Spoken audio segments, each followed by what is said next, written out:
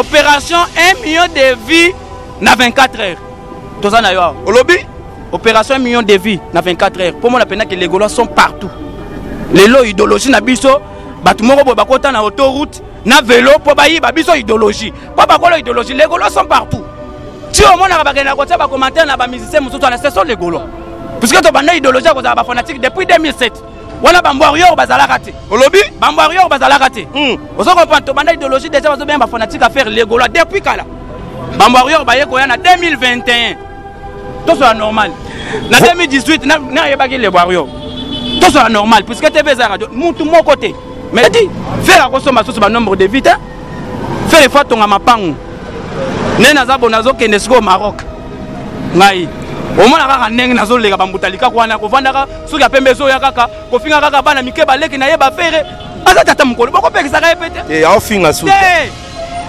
mosala oyo ya mzwa lelo oyo biso toyebaka kendo john azalaka musicien john akala musicien ozo comprendre nga john azalaka musicien akima ndule akoma comédien bayesobe basalisa baleka ye na impact akomaki kokende ntina bagambela ozosanti mpena tovandi mpena na bacena na baboulevard kimbuta boye ayebwa ya bande kosengisa bino ozwi shimbok otindeli ye asekisi yo akima tosisa emission tokosisa émission hmm. lelo oyo akomi journaliste bino basinsango ya solo bovandi bozotala mpe bokei mpe boyambi ye bokotala ata soki ya pembe ebimi ye te mosala aza nango wana soki mosala eza te abanda obeta ata babrike ou bien peut-être awawa ah, na pene victoire bazoluka bajournalier ke olekaka na tv tata mokolo kofingaka leke aza mokolo ya fereti so otali bie bien boye akozala mpe mpo makambo na biso mpe ya ndula yango mpe fo ezalaka mpe 100 kaka bakongole ya bakongole otali mpe bien boye mpe akozala mpe na 50 voilà mesdames et messieurs on est presque à la fin donc euh, mpo na dynastie na biso hmm.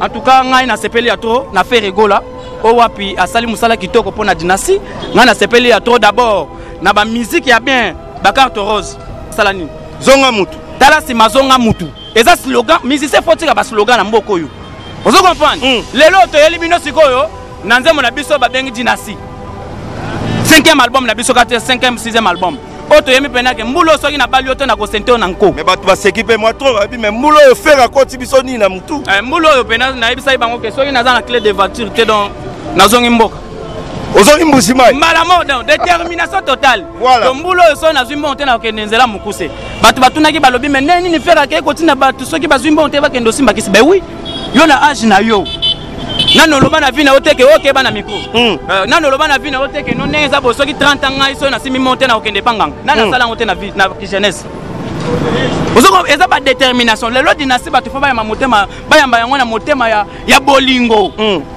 Ferre Gola asali mosala kitoko 5 ans ezalaki pamba te atikalaki tala bato ebele na studio tala bato ebele kobimisa lelo lobi lelo lobi sikoyo ntango tobimisi dynastie toyoki keno eza na musicien moko boye akende aza na studio nani wana mise moko kaka nde toyokaka oyo amesanga nalobaka verité oyo pesela mise moko boye azalaka chaque année chaque semaine il faut album chaque mais finalement okobimisa baalbum yango ezotikala te baevre ezotikala te eloko moko te mai miziki ya bana maternel succès kaka ya lelo esili lelo esili miziki fo etikala seko na seko omona mpena olobaki nini ee mamu ee ti lelo eza bakolo nze mwana baza te badaya ozo comprendre miziki miziki yango wana fo tika ba evre neti dinasi neti oza nango boye evre na evre dofere asali mosala kitoko 5 ans ezalaki pamba te 5 ans ezalaki pamba te toza na ndili nakosaka na ngai te awa toza mpe na plein air nazalaki ya kolala na 5 ans wana tozalaki ya kolala te matie boshi To voyagea trop. Le seul Monsieur le rumbiste et qui riche na ville savane chombo.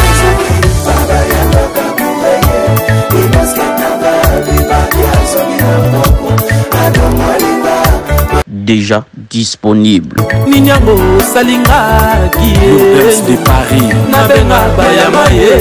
Tout le quoi. Na benga ta grand-père Bozibo. Ferre aza na ba fanatique na ye, Misa Makelele aza ba fanatique na ye, il faut koloba makambo ndenge ezaleli. Est-ce que Ferre aza capable akende convaincre ba fanakwiti na ye mpo baya concert ya Ferre? Ferre c'est un businessman. Soki lelo Ferre bapesi ye montant, bapesi ye mbongo, zwa mbongo oyo beta concert jour peut-être wenge bcbg bato benso babeta concert ferre akozala oblige abeta concert parce que ferre akofuta ba mark house na nini babiso oyo bavoiture yango oyo fo batya essence na akotie sens ozo comprendre donc nakamwe nde mayele nyonso ya mombaya oyo akendelaka ntiki oyo ye moko akenda ntiki nayebi te soki atanga na bana classe nini tobeta lisolo harmonie tozobeta yango tikafitiring ya ferre gola na inos bi bato balobi nini te omoni bato nde bamombaya aza pieton nanu tika naloba aza pieton tokutana ye na re akose retrouve na mama ye mona akobuka ye mabolongo merci beaucoup kogar de la presse merci ya yanike mawanika antitero oboso mare wera fula fere hmm. wana motu toto ayebi yango fere ntango osala jet set na ye hmm. abetaka concert babandal oyo bashiki tola toyeba oyo bamisien fere tout osala mwa liboso yango mais lelo oyo nde toyo baboye bamisien na yo bayebanaka lisusu te ilunga aza ya kala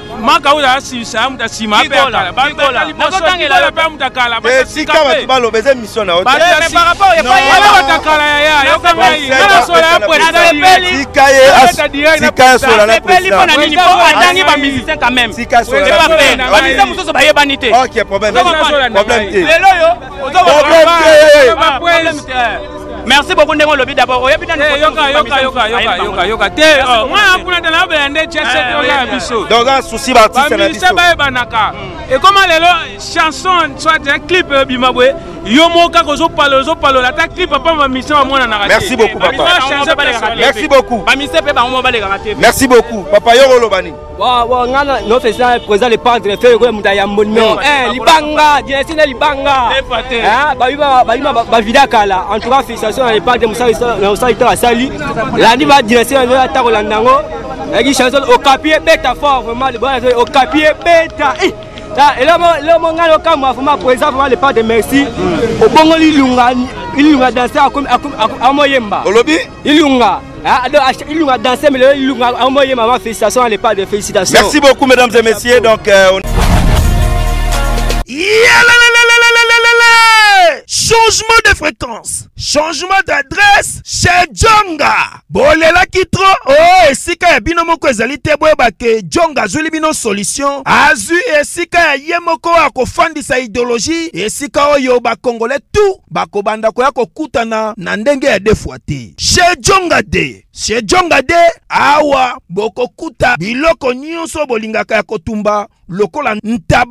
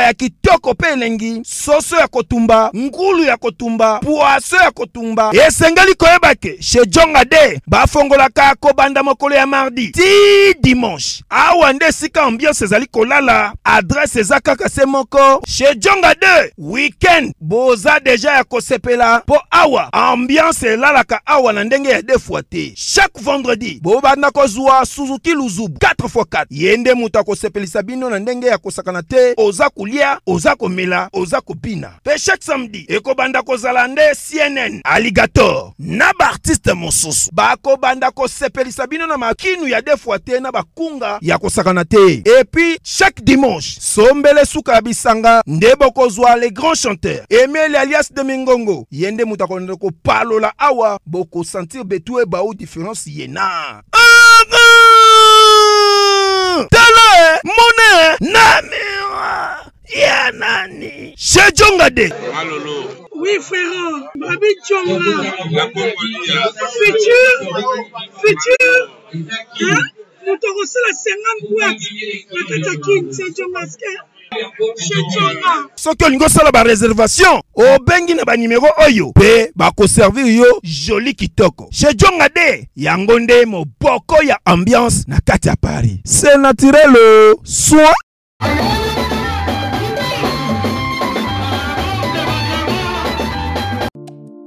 Je suis docteur Pichotondele, pharmacien de formation.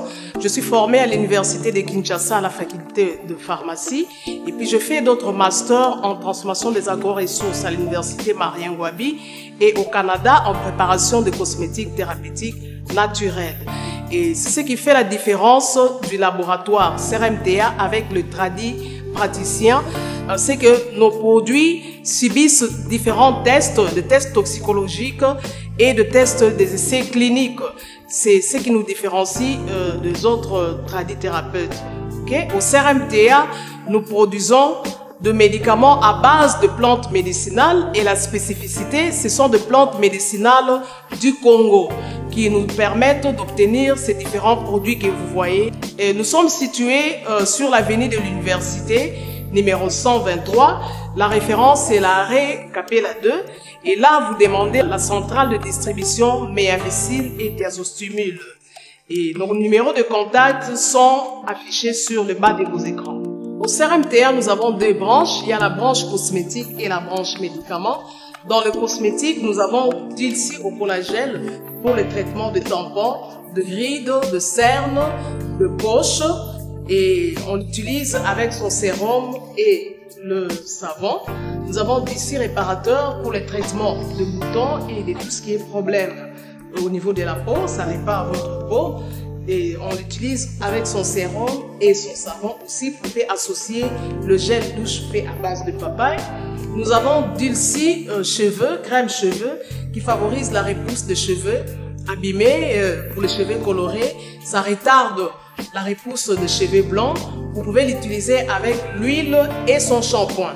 Nous avons également du parfum qui est fait à base de plantes médicinales, des huiles essentielles et qui a une particularité de pouvoir réduire le stress. Et dans la branche médicaments, nous avons méamicine, sirop et comprimé, traite les amibes, les levures, qui est un antipoison efficace aussi. Nous avons des azostumides qui traitent les différentes formes d'impression sexuelle. Nous avons cité l'éjaculation précoce, les dysfonctionnements érectiles, la le manque de libido, euh, la fragilité euh, chez la femme, la stérilité secondaire et chez l'homme et chez la femme. Nous avons Zinginalis comprimé et Zinginalis suppo qui traitent les différentes formes d'hémorroïdes internes et externes. Nous avons Sensiforce qui traite la malaria.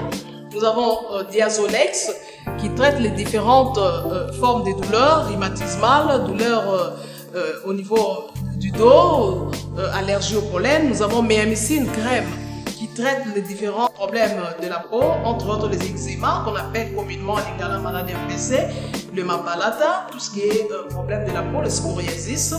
Nous avons DIABEWIN qui traite le diabète. Nous avons Allium qui traite l'hypertension. Nous avons la crème Borex pour rallonger et puis euh, donner le volume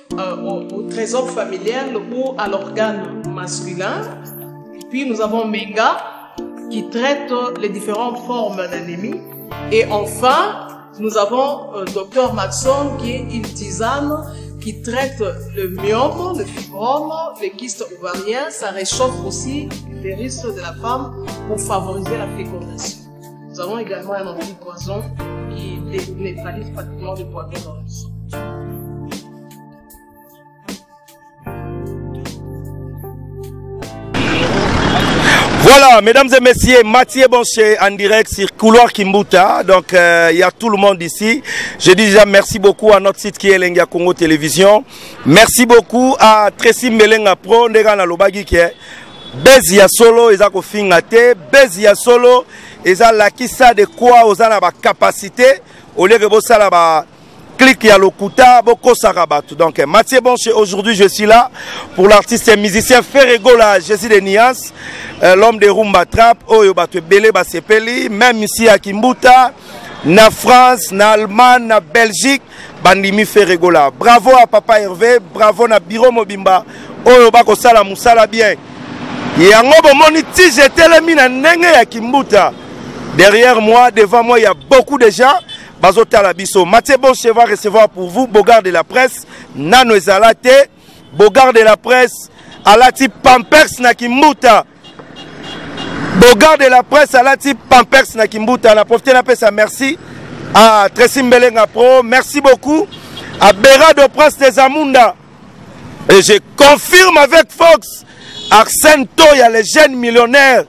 moto aleki yo aza te arsène toya le jeune millionnaire merci ya yuyu kabwiku depuis paris joli ilunga fondation etike yanike kinia le millionnaire bambote ebele merci ya sam kunku le nécessaire merci na bamasta tout bakotala biso parce que on est là pour bien travailler je suis là toujours elengi ya congo télévision matou idole ya debora bofando merci beaucoup à tout le monde mesdames et messieurs parce que il faut travailler on va play bogard de la presse mais avant nayamba bogard de la presse tokotisa na mwa bayaya bakota donc euh, ça va ça va mathieu boche tvs 1 lelo tis na kimbuta grâce à ferregola Ar album harmonie dabord ah. esali yo boni esali nga kitoko sitalaka vi wana ndenge azalaka na makambo na ye ya bien mm. nil kaboronika papa social balobi tozozela makambo se epesami na ye biso monde entier eza tombe mm. monde entier tombe naye biso monde entier tombe donc nayebi kutu te naoki koloba te fere gola nayebi te papa social bambote ebele kaka na poste na nga jolie fondation etike yanik antitero yanik niya le millionnaire ebenza boshe nayebi te balobi pampex eza awa nayebi te mpo na fere gola eh, vraiment voilà voilà merci beaucoup on est là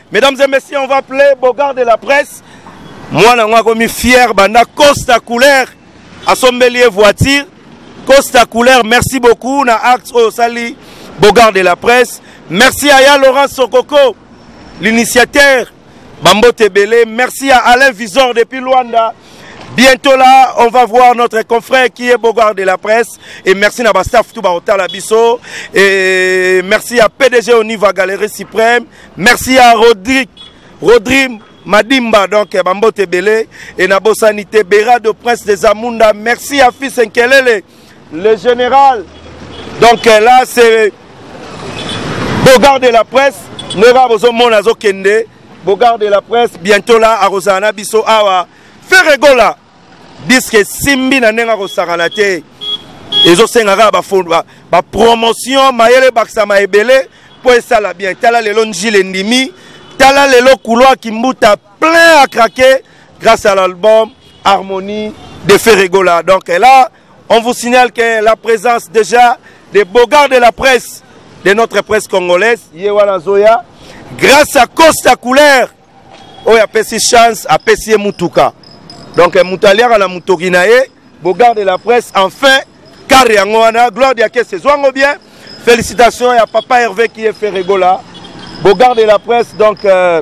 ye wana euh, balobi presse costa couleur grâce à mosala na ye donc euh, bogarde la presse oyo topesi bambote ebele donc euh, merci beaucoup na bana poto bakotala biso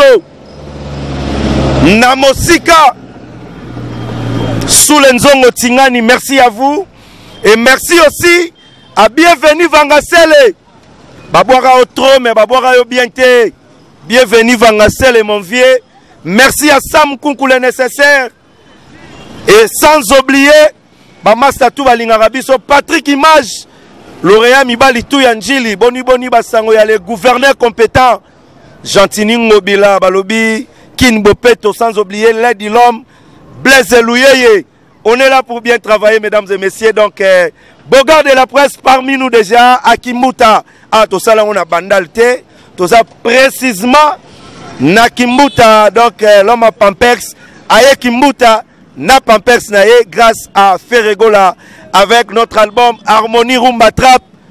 Premier volume Mathieu Bonsena aloba boye te et je suis là pour tous les artistes musiciens congolais. On est là avec Bogard de la presse. Hein?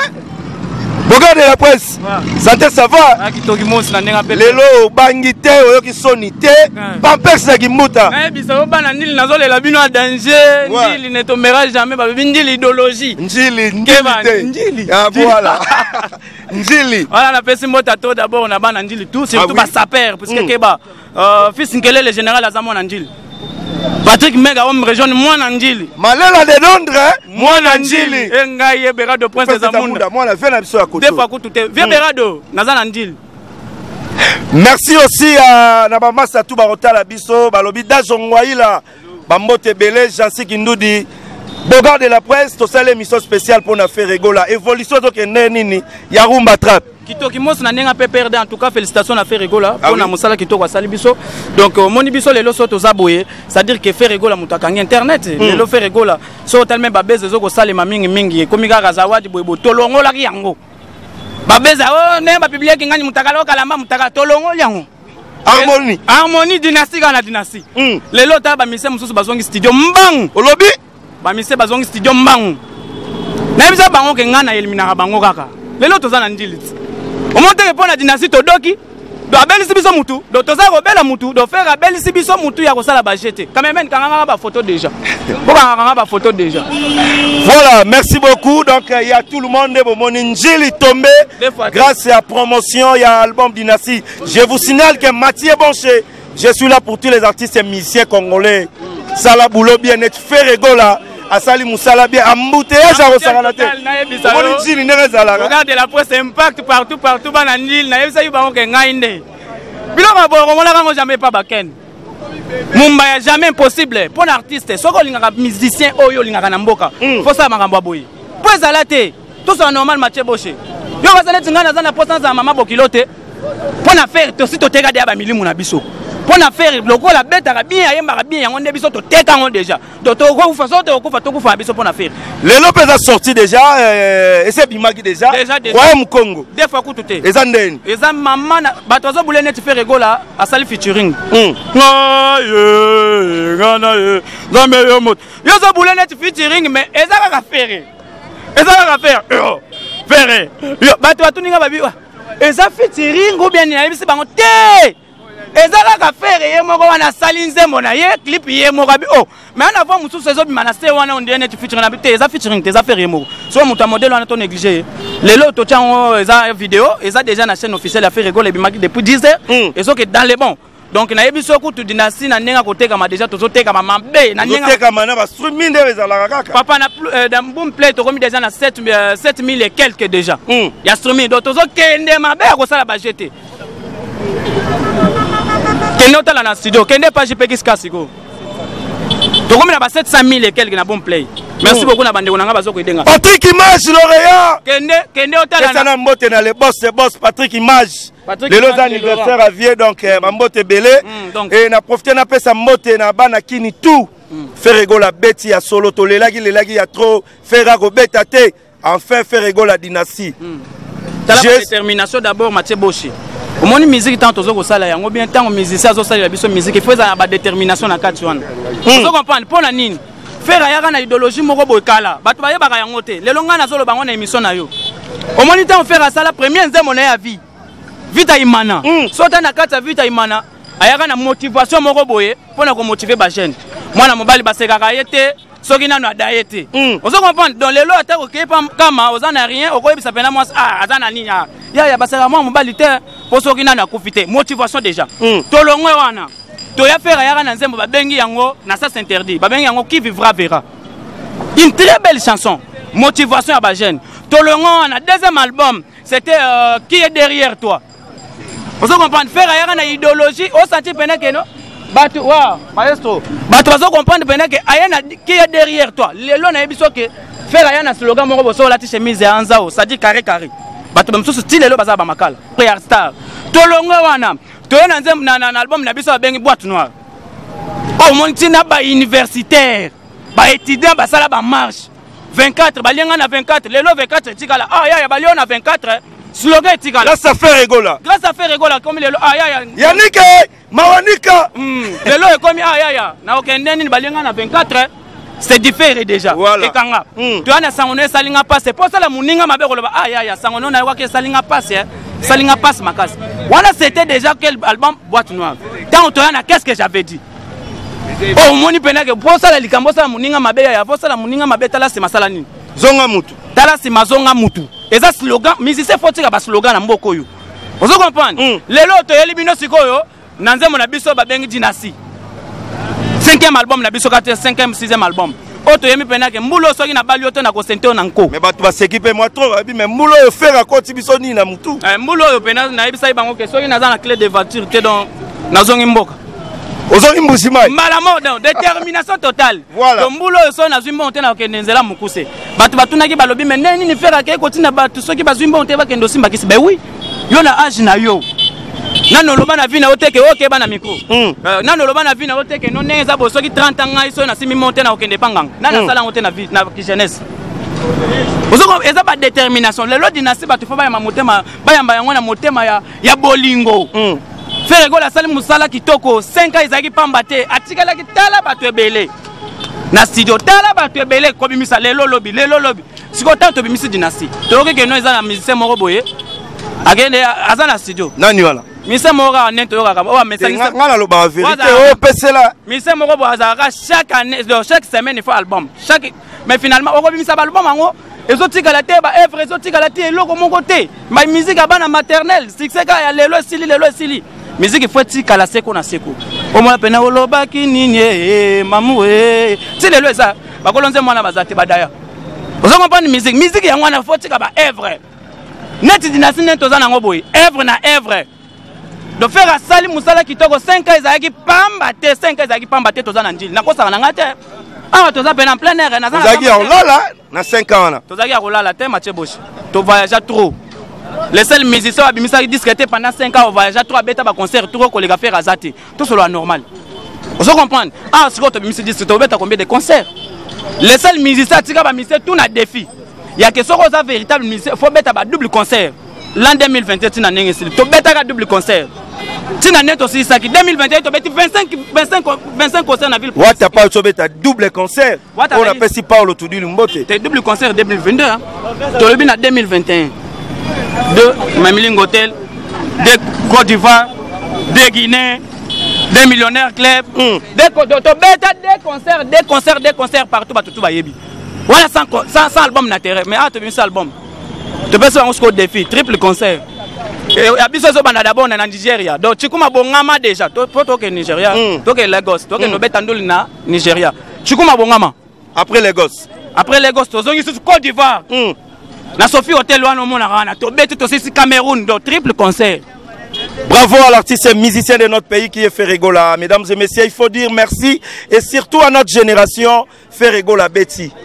omoni matie ngai nasepelaka na mosala na osalaka mpo ya nini mpo olobaka verité ah, voilà ozo comprendre mpo eza na bajournaliste mosusu neti mombaya te a ah, totanga bakombabazotanga eh, bakombo eh, ya bato te nakotanga komotosa promotion dinasi oza na nsili ndili te ezaka ya bana ndili te me hmm. bana bandal eza congo hmm. eza congo eza kisasa toza bandeko fo naloba mombai oyo yafingaka feri ntongo midi mpo azo kosala baanalyse nayoki ngai na voice moko ezobima que non ferre atie bajournaliste moyen hmm. mpo badestabilise soki concert moko boye ya ministère makelele azobeta soki na soki nalobala micro euh, azobeta soki na stade de martyr mais c'est quoi ça ces histoires ferre akende kopesa musicien ou bien bajournaliste moko mpo badestabilise concert ya moninga ferre aza na bafanatike na ye ministère makelele aza bafanatike na ye il faut koloba makambo ndenge ezaleli est ce que ferre aza capable akende koconvaincre bafanakwiti na ye mpo baya concert ya ferre ferre c'est un businessman soki lelo ferre bapesi ye montant bapesi ye mbongo zwa mbongo oyo beta concert jour peut-être wenge bcbg bato babeta concert ferre akozala oblige abeta concert parce que ferre akofuta bamark house na nini babiso oyo bavoiture yango oyo fo batya essence na akotya essence ozo comprendre donc nakamwe nde mayele nyonso ya mombaya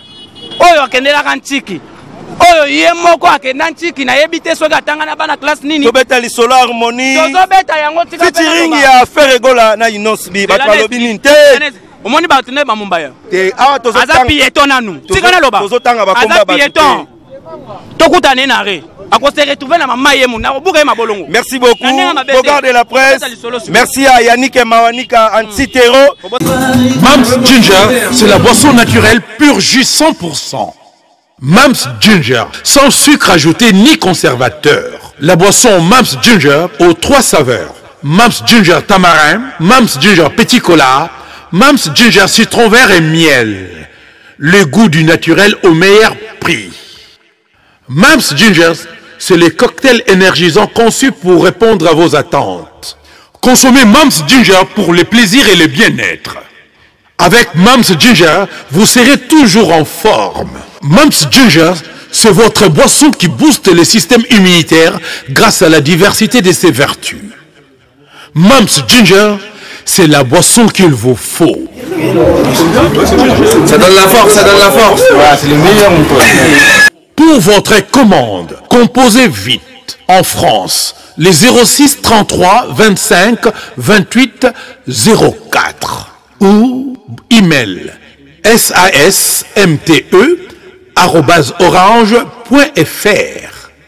Mams Ginger votre boisson. Mams Ginger c'est la boisson pour toute la famille. Mams Ginger, à consommer sans modération. Mams Ginger, boisson énergisante sans sucre ajouté, à base de produits naturels. Mams Ginger, 100% pur jus, Mam's Ginger regule votre système digestif. Masanga ya mama na papa na mpe libota mobimba sans tabou. Mam's Ginger mpo na moto nyonso. Consommons tous Mam's Ginger.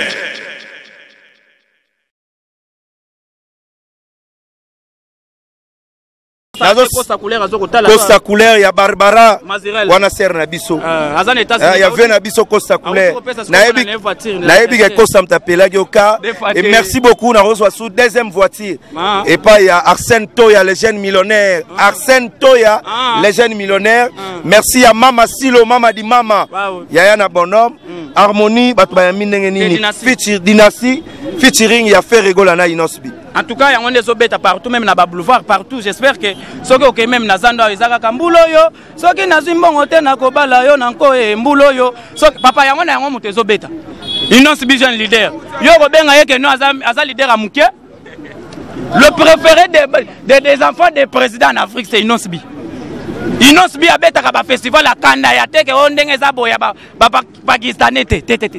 Poza concert ya ba pakistanais eza mpe na concert oyo oh, mpena ke honoraire mais eloo nde ezosala yo bamono tata mokolo boye na bapampesentiment eleki ngai mingi mpo na sentiment nini nazala d'abord teke umbu nalongwa moluba nalongwa moluba nakoma teke umbu ndeko ya bafere mpo na nini puske kongola akendaka mpe poto achangeaka nationalité ngai nalongwe kuna naye kisasa na change mpe nationalité change te naza na droit lelo feti kaka ya clip ya royaume mm, tozofete kaka donc bana poto merci ndenge boyambi disque na bino et puis na, merci na ndenge bozo tala opération 1 million de vie na 24 heures toza na yo awa olobi opération 1 million de vie na 24 heures mpo mona mpenza ke les gaulois sont partout lelo idéologie na biso bato moko boye bakota na autoroute na velo mpo bayiba biso idéologie mpo bakolo idéologie les gaulois sont partout ti omonaka bakendaka kotya bacommentaire na bamusicien mosusu wana ce sont les gaulois puisque tobanda idéologie ya kozala bafanatique depuis 2007 wana bambwarior bazalaka te olobi bambwarior bazalaka te hmm. ozo comprendre tobanda idéologie déjà bazobenga bafanatique affaire legola depuis kala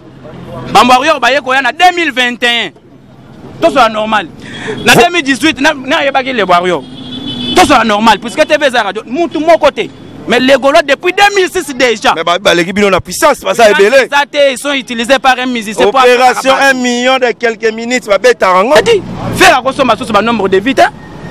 fere fo atonga mapangu nde naza bo nazokende sikoyo maroc ngai omona kaka ndenge nazoleka bambuta likako wana kovandaka soki apembe ezoya kaka kofinga kaka bana mike baleki na ye bafere aza tata mokolo bokopekisaka ye mpe te te aofinga su te mosala oyo ya mzwa lelo oyo biso toyebaka kende ojo wana azalaka musicien jo wana azala musicien ozo comprendre nga jo wana azalaka musicien akima ndule akoma comédien bayesobe basaisai baleka na impact akomaki kokende ti na bagambela ozosanti mpena tovandi mpena na bacena na baboulevard kimbuta boye ayebwa ya bande kosekisa bino ozwi shimbok otindeli asekisi yo akima tosisa emission lelo tokosisa emission hmm. lelo oyo akomi journaliste bino basinisa yango ya solo bovandi bozotala mpe bokei mpe boyambi ye bokotala ata soki apembe ebimi ye te mosala aza nango wana soki mosala eza te abanda obeta ata babrike ou bien peut-être awawa ah, na pembe victoire bazoluka bajournalier ke olekaka na tv tata mokolo kofingaka leke aza mokolo ya ferite so otali bien boye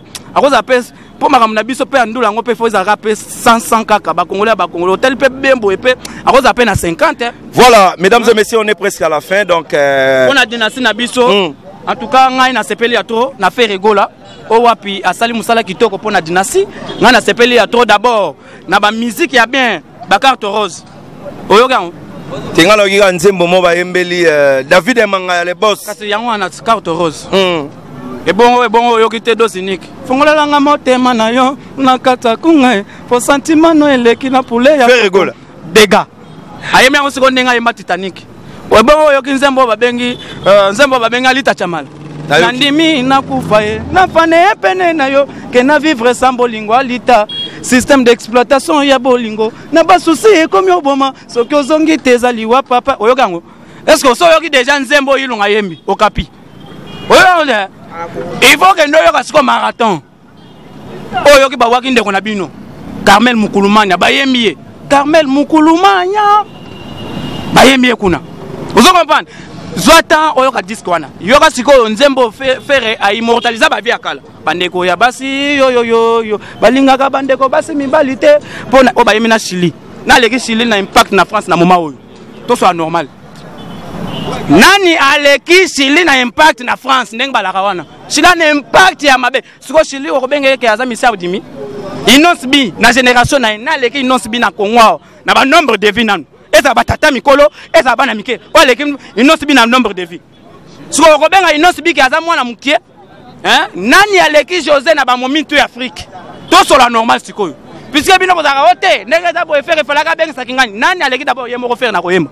na mboka oyo na kisasa oyo sans exception seri fer ayema na bafranc congolais balaka omoni lisolo moko bojo moko boaleka na teva o te wenge esali bo fer c'est un véritable mwana wenge fer ayema na franc congolais seri wana mike kam na ingénieur du son pable poba ingénieur du son na franc congolais witi uko na azalaka seri wana azalaka wapi bando ataka nyampunda makelele te tosolola normal omoni makambo oyo fo kosololaka yango frère aza grand frère ya ba f tout ya mboka oyo je le confirme et je l'affirme ozo comprendre moto aza na mabe na ye toboyi te mais na moment oyo dynastie fo bato to bandima yango il faut bato bandima dynastie parce que dynastie eza neti arche de noe mutu nyonso ifo okota kuna ozo comprendre nga voilà tokomi na suka bamboto epesi mpa nani parce que bato ebele baotala bisoebele te bemoko bato ebele mobiala mayimbi le bourse vie na ngai mobiala mayimbi le bourse nazolela ye mabe awa toza déjà na njili tala kaka donc kosa couleur le multicouleur mbala bato ya barbara mazirel véritable code euh, le seul elinique honorable de limete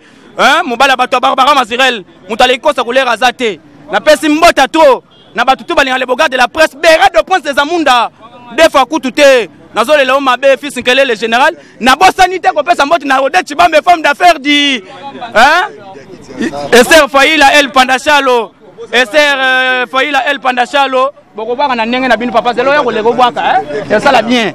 eh, awa nazobwaka nani bato bakotyela ngai limba mposo nabwaki otyela ngai limba te tosala normal toza bandeko toza bajeune ozo comprendre napesi mbote ya to na eser faila el panda shalo masa na ngai nabosani te jeme mboko depuis zambie bambota tro na belle bride ndala epuis napesi mbota tro na ye moko neli ntambwe na afrique du sud nazolela o mabe yanika yenga mon invisible nazolela o mabe nabosani te kopesa mbota tro laskoni munza yo oyebi deja toza na njili napesi mpe Niclette Sam na Paris toza ensemble ya pas souci Yannick Kayenga mon invisible merci beaucoup Très papa yanga non rapidement tout monde peut papa moi ngalo bela euh, dynastie à Ferregola ça va papa ouais ça va bien ça va bien oyoki dynastie boni bon dynastie nalandaki yango bango nalandaka na ba réseaux sociaux ah, oui. na télécharge naza nango mpe na téléphone na télécharge mais eza na nzembo moko oyo mpenza so navandi naozonga mpenza fega seka basolola seka bakibwisa babiloko nzembo ya piromane soki piro naye batitre yango te Est-ce que votre père Est-ce que t'as capté Maintenant, conseil, mon ami, appelle ça Chétani. Ouais, Loba. conseil eza ndeni omoni biso tokoli mingi na makila ya wenge hmm. toyebi bamaison mare ndenge esalamaka bawenge zela na topesa président sami aza kotala biso président sami bambota trop merci conseil na ngai eza boye protege bato na yo eloko efosalela yango tomona fai na maison mare wera fula fere mm. wana motu toto ayebi yango mm. fere ntango osala jet set na ye mm. abetaka concert babandala oyo bashikito wana toyeba oyo bamusicien fere tout osala mwa liboso awa mais lelo oyo nde toyo baboye bamusicien na yo bayebanaka lisusu ilunga aza ya kala makausi aza sisa ya moto asima ape ya kala batangela yo mpe moto akala basika mpe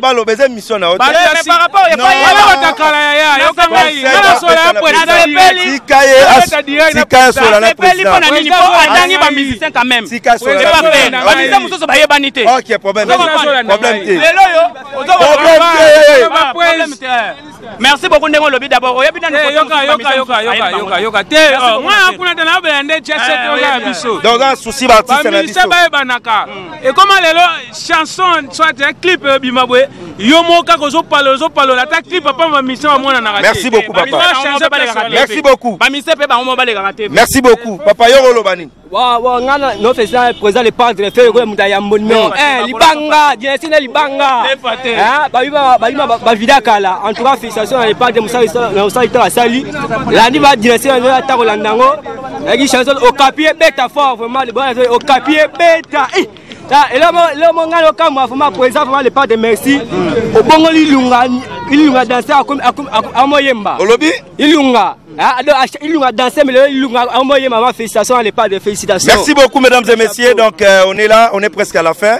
C'était Mathieu Bonche spécial Rumba Trap en direct de Kimbuta.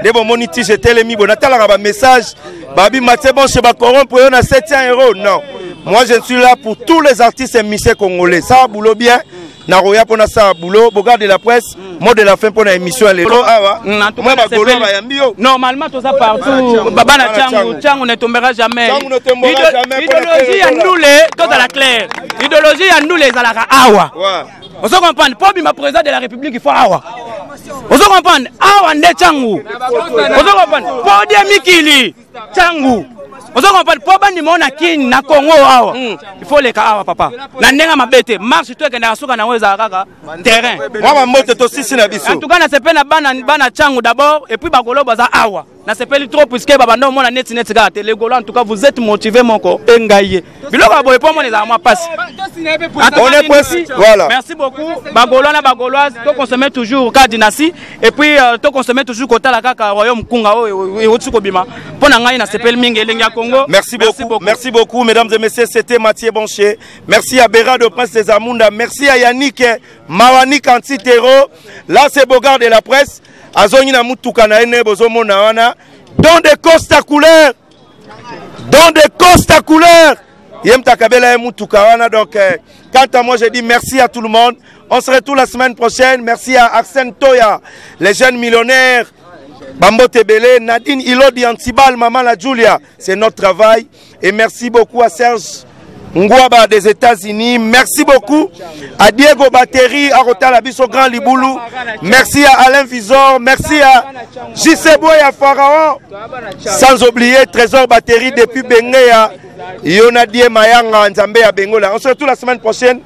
to polemike sikoyo na ndenge ya bien tobeta ata maboko mpo na feregola ah. avec dinastie rumba trap félicitations félicitations merci beaucoup à la prochaine bye, bye, bye.